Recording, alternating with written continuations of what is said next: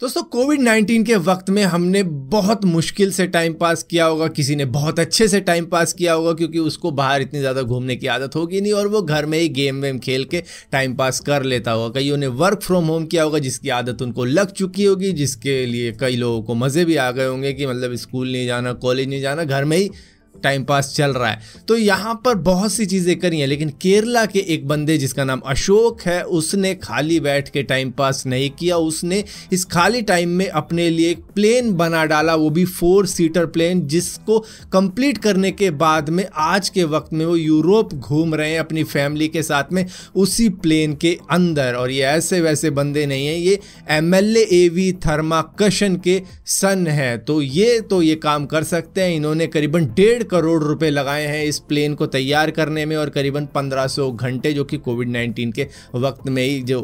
घर में ही लॉकडाउन हो रखे थे लोग तो उस टाइम में पूरा उस टाइम का यूटिलाइज किया। ये पहले फॉर्ड के अंदर काम किया करते थे, जो प्लेन के भी इंजन वगैरह बनाते हैं। तो इनके पास में इतना एक्सपीरियंस था कि दो सीटर प्लेन को उड़ाया किस तरीके से जाता है, इनके पास में पायलट का लाइसेंस भी था, और अब जाके इन्होंने अपने लिए ही फोर सीटर प्लेन बना के अब अपनी फैमिली के साथ में काफ़ी सस्ते में एक से दूसरी कंट्री चले जाते हैं यूरोप के अंदर और ये यूके के अंदर रहते हैं। क्योंकि इंडिया के अंदर रहते और प्लेन बना लेते तो ऐसा यहाँ पर हो नहीं सकता, क्योंकि अगर आपने प्लेन बना भी लिया इंडिया के अंदर और कोशिश भी करते हो अगर उसको उड़ाने की तो काफ़ी सारी सज़ाएँ आप पर लग सकती हैं, क्योंकि यूपी के ही अंदर एक बंदे ने एक हेलीकॉप्टर बनाया था और वो सिर्फ़ उसने 20 फुट ऊपर ही उड़ा के देखा था, तभी वहाँ पर पुलिस और एयरफोर्स पहुँच गई थी कि ये किसने क्या बड़ी सी चीज़ उड़ा डाली है। तो फ़िलहाल के लिए, क्योंकि ये यूके के अंदर रह रहे हैं तो ये काम ये बड़े आराम से कर सकते हैं, लेकिन इंडिया के अंदर ये आराम से नहीं हो सकते। लेकिन ये चाहते हैं कि इंडिया के अंदर भी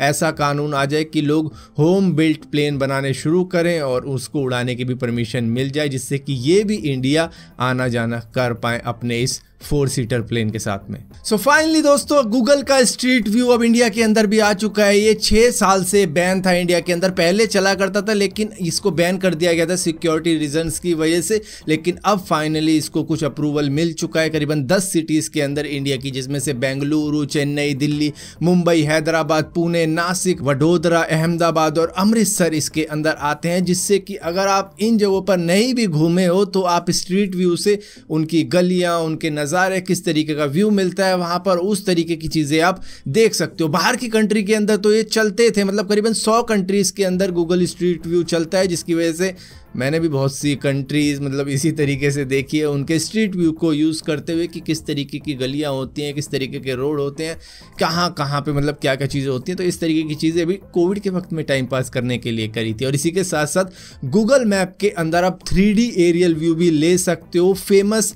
लैंडमार्क्स के, जैसे कि कुतुब मीनार हो गया या बाहर की कंट्री के हो गए तो उस तरीके की चीज़ों को आप एरियल व्यू से भी देख सकते हो कि किस तरीके के लगते हैं। दोस्तों, यूरोप की दो सबसे बड़ी satellite internet company one web और यूटेल सेट ने अब एक दूसरे के साथ में पार्टनरशिप कर लिया क्योंकि उनका जो दुश्मन है, उनका जो कॉम्पिटिटर है स्टारलिंक वो एक नेक्स्ट लेवल पे गया हुआ है तो इन दोनों को अब एक साथ पार्टनरशिप करनी पड़ी स्टारलिंक के साथ में टक्कर लेने के लिए। और वन वेब के साथ में एक और सिचुएशन है कि उनके पास में इतनी ज़्यादा फंडिंग नहीं थी पहले, क्योंकि 2020 में इन्होंने बैंक भी फ़ाइल कर दी थी तो जिसके बाद में यूके गवर्नमेंट और मित्तल भारती ने मिलकर 45 परसेंट स्टैक इसके खरीद लिए थे। 500 500 मिलियन दोनों ने ही दिए थे इसकी बैंक करप्सी को बचाने के लिए, इस कंपनी को बचाने के लिए। लेकिन उसके बाद में फिर इनके साथ में एक और प्रॉब्लम आ गई कि रशिया ने कहा, हम तुम्हारी सेटेलाइट ही लॉन्च नहीं करते क्योंकि यहाँ पर यूके ने इसके स्टैक्स खरीद लिए हैं। मतलब कि वो मिलिट्री बेस कुछ काम कर सकता है इन सेटेलाइट्स के ज़रिए। तो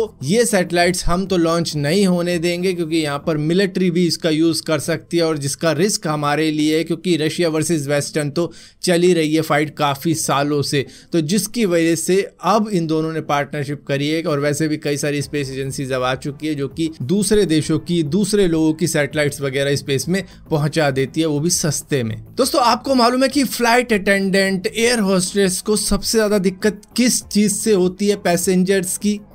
पानी से। वो दरअसल कई सारे ऐसे पैसेंजर्स को हैंडल करती है जो कि दो लीटर की बोतल, एक लीटर की बोतल पकड़ा देता है कि ये मुझे भर के दे दो और उनको भर के देना पड़ता है, जबकि पैसेंजर्स को ये पता होना चाहिए कि प्लेन पर लिमिटेड वाटर होता है, जिसकी वजह से वो अगर एक कप पानी ले ले तो भी गुजारा हो जाएगा, दो कप ले ले तो भी गुजारा हो जाता है, लेकिन कई सारे पैसेंजर पूरी पूरी बोतल ही पकड़ा देते हैं कि ये मुझको भर के दे दो ताकि मैं पूरी की पूरी फ़्लाइट में पीता रहूँ और और मांगने की आपसे मुझे ज़रूरत ना पड़े, लेकिन ये गलत है, ये एक स्टडी में पाया गया मतलब सारी एयर होस्टेस की यही एक कॉमन प्रॉब्लम है कि बोतलें भर भर के देनी पड़ जाती है, जबकि अगर कोई भी बंदा पानी मांगे तो वो एक कप पानी दे देती है, अगर आपको वो पीना है तो पी लो, और बच रहा है तो अपनी बोतल में भी डाल सकते हो, क्योंकि